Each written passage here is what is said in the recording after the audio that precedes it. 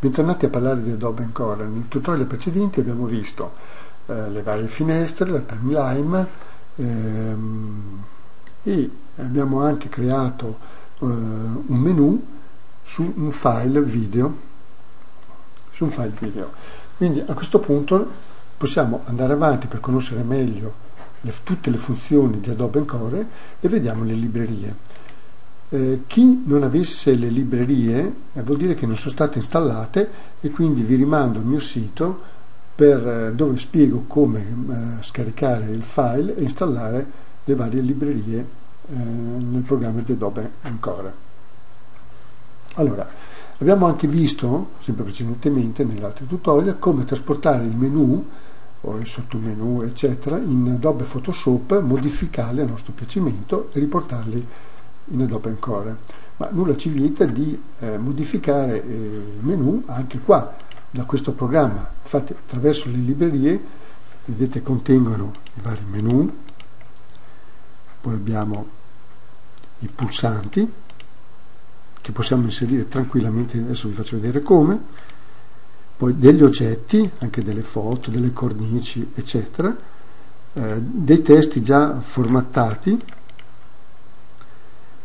e adesso vediamo come fare. Dunque, intanto cominciamo per esempio da un titolo, da una scritta. Eh, questa scritta io posso andare negli stili, vedete, dove c'è la T, vedete l'iconcina con la T vuol dire che è un testo, è uno stile di testo. Prendiamone uno, ad esempio questo, clicco due volte, vedete, il nostro testo si trasforma nello stile selto. Naturalmente tutti possiamo anche fare questo.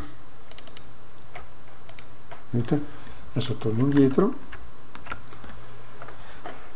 Poi,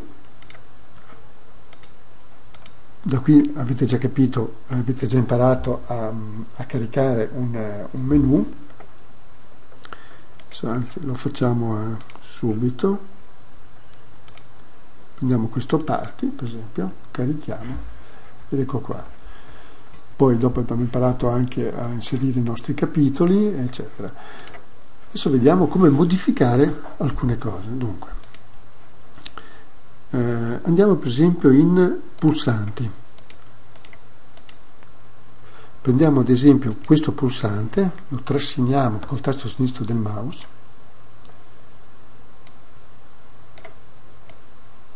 aggrandiamo e questo è un vero e proprio pulsante a cui possiamo fare un collegamento per un capitolo eccetera. Oppure andiamo a vedere un altro. Questo.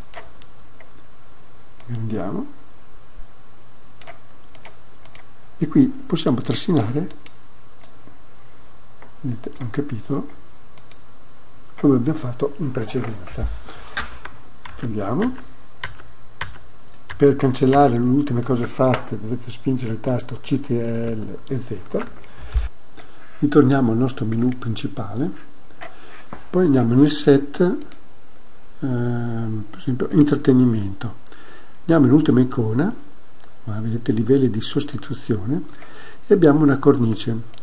La clicchiamo due volte e viene inserita nel nostro menu. Quando viene inserita un, un oggetto molto esteso, molto grande più del nostro menu e non possiamo eh, vedere i rettangolini di, limitazione per, ehm, eh, dice, per adattare la nostra cornice al nostro menu, dobbiamo andare a rimpicciolire prima, ecco qua, prima il nostro menu e poi rimpicciolire, ecco qua, adesso lo sposto e lo mettiamo qua. Ritorniamo al 100% e qui abbiamo inserito una cornice con una foto interna. Ora qui possiamo inserire una nostra immagine e l'immagine si adatterà a questa cornice. Quindi possiamo prima eh, importare le nostre immagini come risorse, ad esempio prendiamo questa, questa, questa e questa qui. Vediamo, vedete si sono inserite nella finestra del progetto. Poi prendiamo questa immagine, teniamo premuto il tasto sinistro del mouse, la trasciniamo dentro la cornice come vedete si adatta alla cornice. Possiamo eliminarla.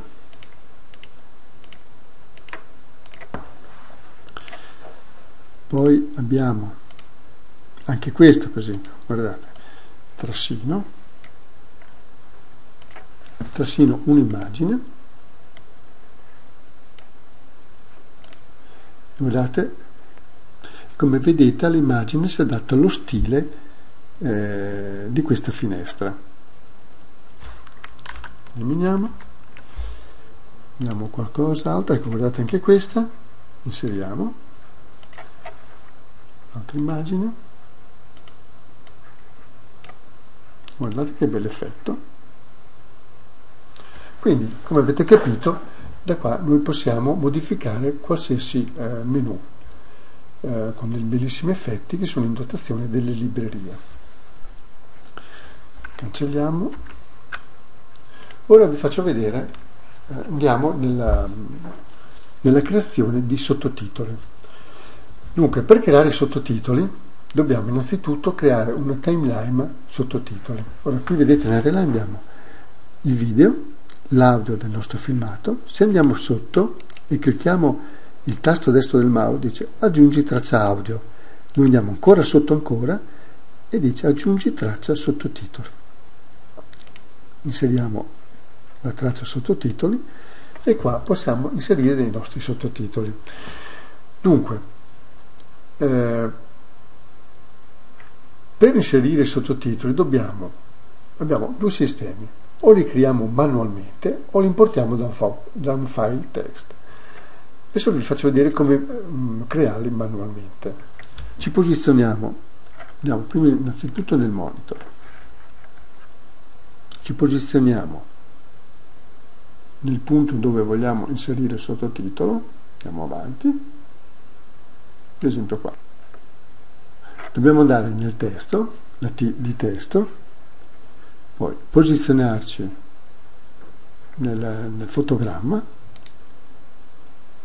inserire ad esempio uh, so, possiamo inserire una frase qualunque. Ciao. Ci vediamo domani.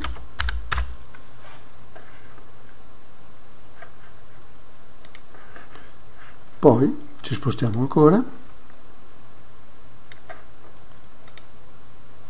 inseriamo ancora la T nel testo, ok,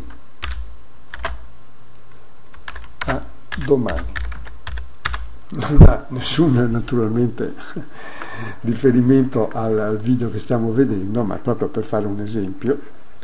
Ecco qua, vedete, abbiamo questi due segnetti, se noi aumentiamo la nostra timeline, andiamo indietro, ecco qua, questi sono i nostri sottotitoli. Andiamo sotto, cioè rimettiamo la timeline un po' più stretta e vediamo, vedete, se io trassino, ecco qua.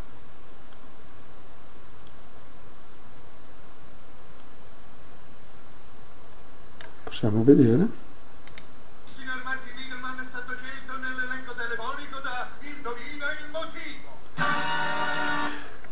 Ok, allora Ah, un'altra cosa che vi volevo dire, per vedere nel, monitor eh, il video possiamo anche premere la barra spaziatrice. Vedete, se io premo il video va avanti, se lo ripremo si interrompe il video. Quindi abbiamo visto come inserire un sottotitolo. Naturalmente i sottotitoli, se noi ci clicco sopra, ecco vedete qua, abbiamo, se guardiamo la parte destra, la proprietà, il testo, e possiamo scrivere anche qua, poi abbiamo la durata, 2 secondi, l'attacco inizia da 1,15 fino al stacco 3,15, poi possiamo, andiamo a vedere, andiamo proprio sopra, ecco, possiamo, eh, abbiamo tre tipi di evidenziatore, gruppo 1, gruppo 2, vedete è diventato quello rosino, e gruppo 3 torniamo al gruppo 1 poi abbiamo traccia normale spesso grassetto. Qui poi vedete quello che vi serve a voi. O nessuno.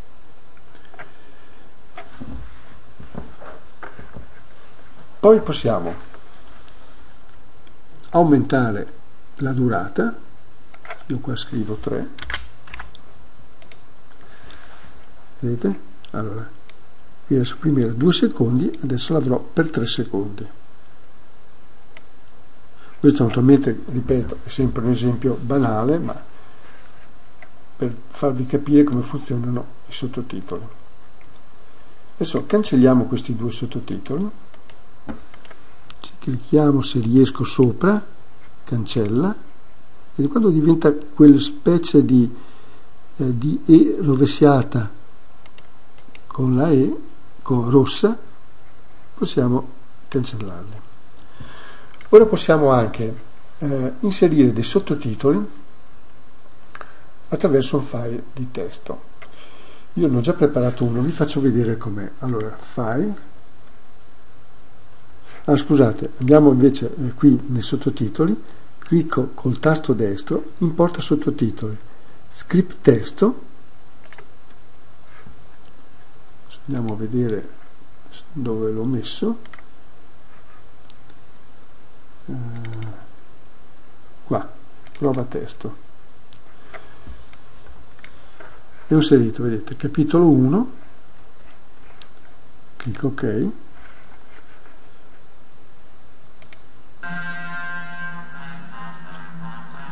ecco qua il mio testo, sottotitolo prova,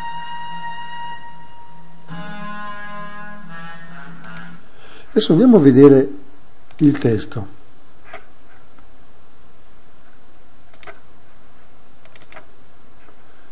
Guardate, bisogna inserire un numero iniziale che per esempio può essere, eh, cominciare da 1, io ho scritto due volte 1, ma può essere 2 che è il secondo sottotitolo, e 3 va.